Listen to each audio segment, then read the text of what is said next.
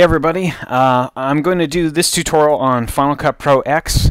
Uh, I'm trying to um, overcome this uh, serious bug that's in Final Cut, uh, which has cost me no end of trouble. And from what I've seen in the forums, it's costing the um, the rest of the uh, editing community no end of trouble as well. So as you can see here, when we go in through, uh, we have this little animation here of how a Venn diagram works. We have different graphical elements. I'm just kind of scrubbing through here. So I have these um, these kind of circles with a, like a break in the middle that uh, I've transformed. It's just a simple PNG file, and uh, uh, I've gone ahead and let's go ahead and kind of try to recreate this, having the circle, just the one circle on the screen, and have it fade in and fade out. So I've gone ahead and I've I've, uh, I've stretched out the timeline past where we need just for the purpose of this tutorial, and I've go gone ahead and I've copied and pasted one of the clips which has been giving me trouble with this this uh, circle broken clip. So let's zoom in a little bit. Command plus on the keyboard. Okay, so as we you may know, the uh, to add an automatic transition to a clip in Final Cut, just select the clip and hit Command T. So let's do that, and then you get this this heinous error message, which is the bane of everybody's existence. Okay, after looking on the forums, uh, I believe that this is actually something that uh, Apple does not know how to fix and doesn't really realize what the problem is. So everyone's giving different opinions about what it is. Uh, um, items on the forum, some of them work and some of them don't, and there it's been going on for years now, and I don't see it getting any better. So I'm going to go through some of the uh, things that I've found will work. And I guess just keep trying these until one of these works. Okay.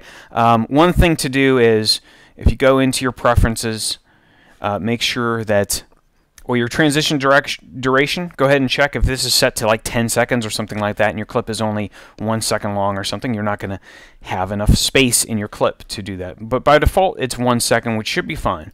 All right. So um, there's different ways of doing this. Let's go ahead and try to drag drag a transition on here manually.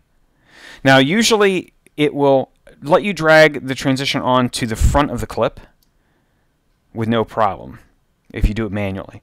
Okay, as you can see there. Uh, now, let's try and drag the transition to the end of the clip. You see, you can see here it won't actually let me drop it on there.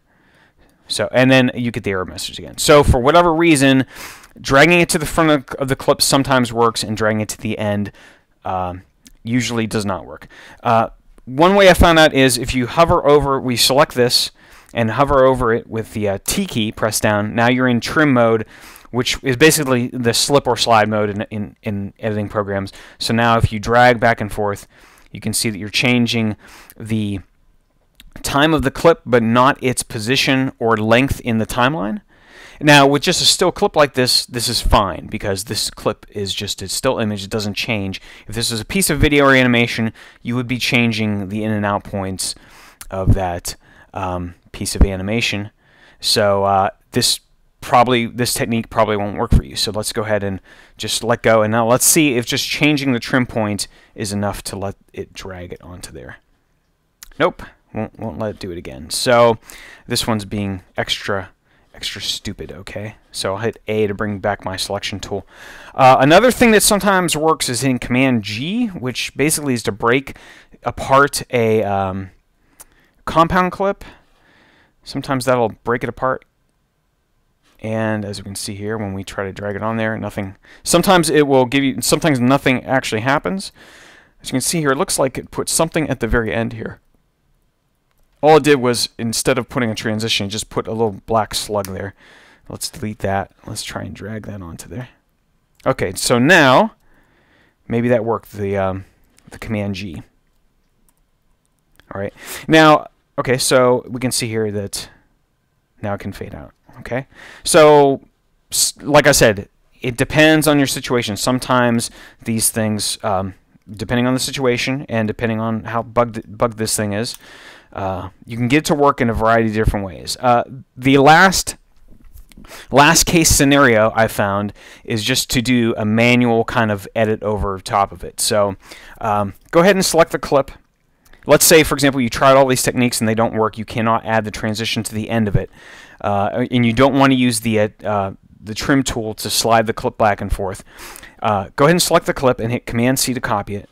Now go ahead into your library, drag out a another copy of that clip, put it on top, and retime it, slide it in there, and retime it to the point where you want it to overlap. All right. Slide those side by side like that. All right.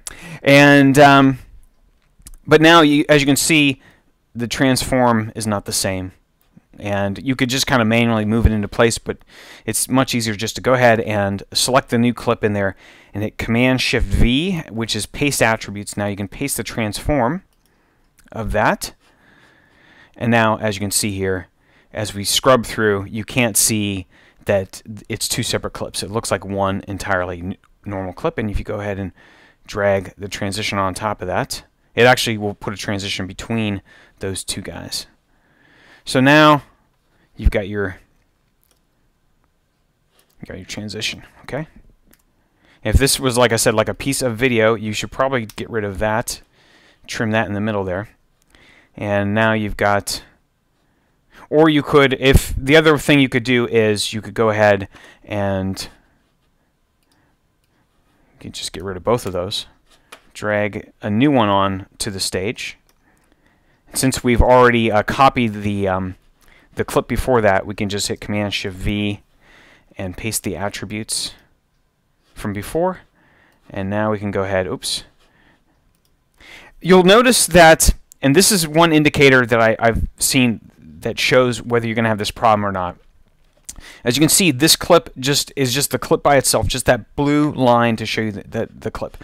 Uh, these other ones have like a black uh, strip on top that shows that they are kind of connected to other things in the scene.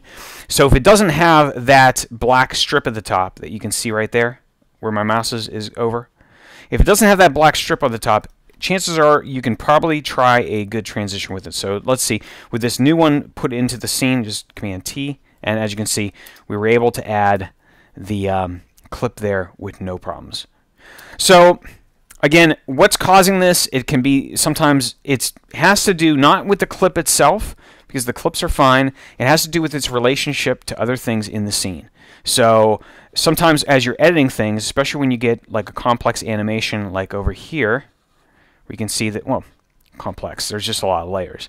As you can see here, there's a lot of layers coming in at different times. And as you add things, uh, transitions and, and transforms to them, they will they'll start to um, kind of connect to each other, and, and, that magnetic timeline, which drives everybody nuts, uh, will start to uh, cause this issue, and it starts creating relationships between these uh, layers or these clips that cause this this kind of dependency and so what it does is it thinks that this clip is kind of attached or married to another clip in the scene.